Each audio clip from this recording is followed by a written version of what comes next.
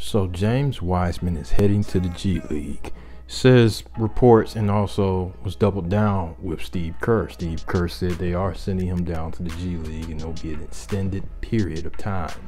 Maybe 10, I think he said like 10, 10 days straight. Maybe be long, it probably be longer than that. Um, James Wiseman, Wiseman was one of my three guys I was picking to have a breakout season with Anfernee Simons and Jalen Brunson, but he has struggled this season, and he his you can also see that his minutes were going down.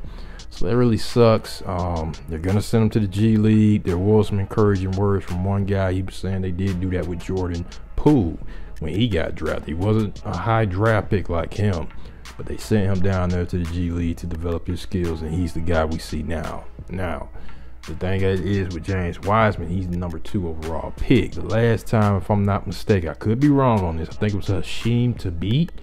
or was he was he the number? Okay, I think he was the number three pick, four pick, or something like that. They got sent to the D League at that time.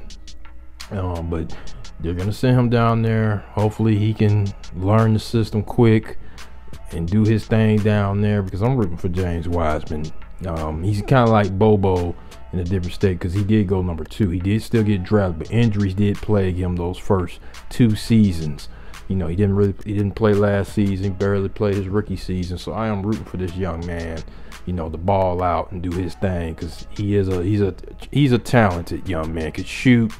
He, showed a little bit of post moves. He can he can he, he he's still a little work in progress with his defensive um, assignments, but I think he could be a really good big man in this league just needs the time and hopefully he'll get the work in. But post comments, let me know what you guys think of this decision that the Warriors send him to the G League and make sure you subscribe to the channel.